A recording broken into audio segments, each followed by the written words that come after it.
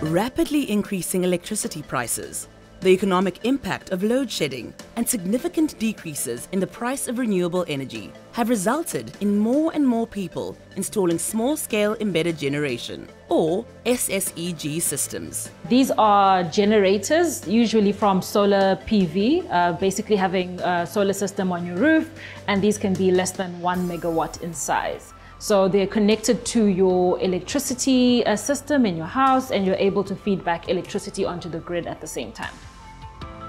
With uh, the growing load shedding that we are seeing in the country and the expected um, uh, electricity price uh, increases in the next in the next coming years, we foresee that quite a lot of uh, customers across all the customer segments, residential, commercial, and industrial, they will continue to, to adopt uh, these SSEG systems onto their facilities. So there's been an increase in electricity prices over the years and people would like to reduce the costs uh, associated with purchasing electricity. Many customers, especially residential customers, install solar PV to reduce their carbon footprint because solar PV is a carbon-free generating source of electricity. Or some customers install solar PV with battery storage to have resilience in the case of load shedding. But as beneficial as they are for people, the economy, and the environment, if SSEG customers do not adhere to the rules set out by municipalities, there can be severe implications for the network and the safety of its users. A key characteristic of a small-scale embedded generation system is that it is able to feed back excess electricity onto the grid.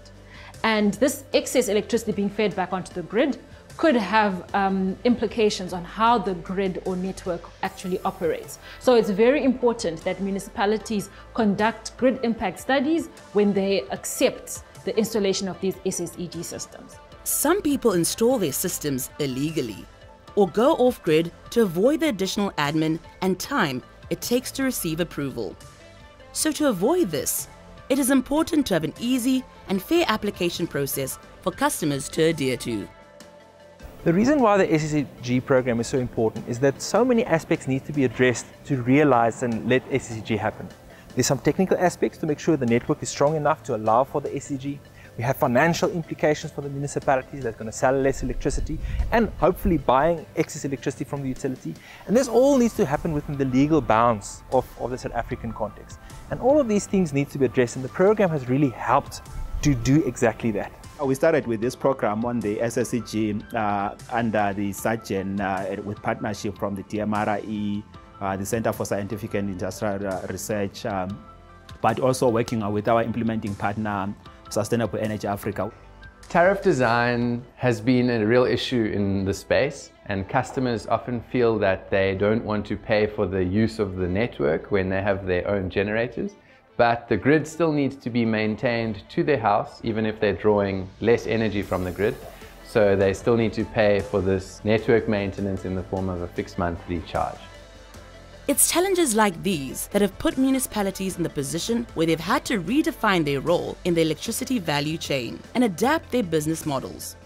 To deal with these challenges, industry stakeholders came together, SALGA, the GIZ, the DMRE, to put together the Municipal SSEG Support Program to assist municipalities in dealing with embedded generation on their networks.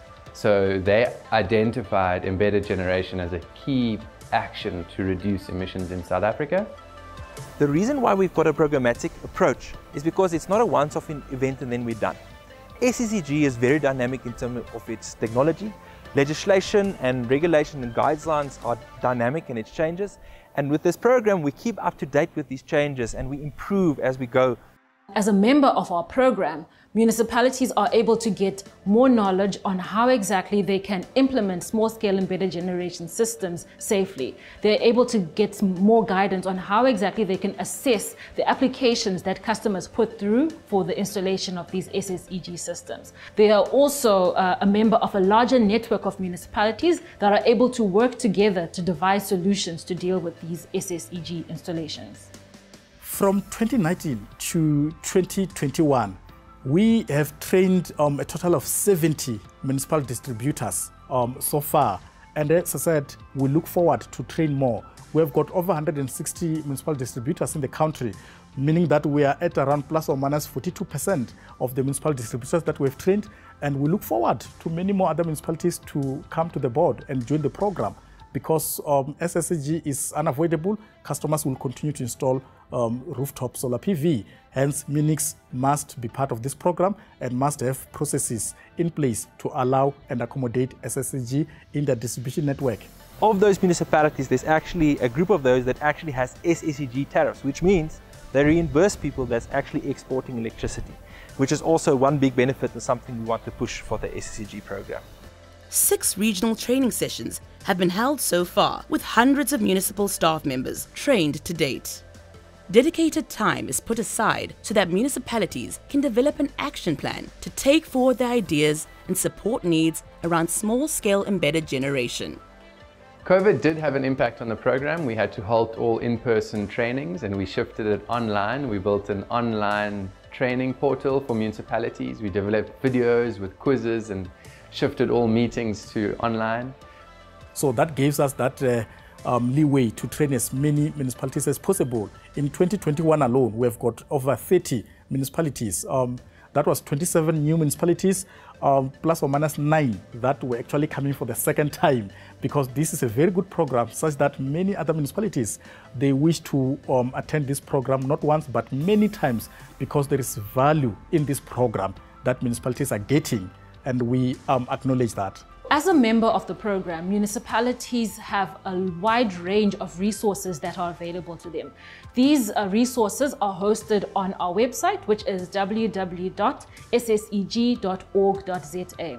Uh, on this portal, you have access to uh, municipal bylaw templates, policy documents, instructions on how to conduct grid impact studies, as well as how to commission any SSEG installation systems that are available. This current SSEG program is mainly targeted on one megawatt, but in future we'll start seeing bigger systems uh, coming into the grid where we'll also have to come up, maybe design a similar program, but mainly looking at your system that can go up to 100 megawatts.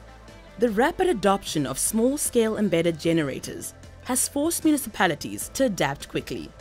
But in doing so, it has also given municipal distributors and customers alike the opportunity to play a proactive role in shifting the country's energy landscape for the better. The Municipal Small Scale Embedded Generation Development Support Program is helping them do just that, ensuring South Africa continues to transition to a cleaner, greener energy system and a more sustainable future for all.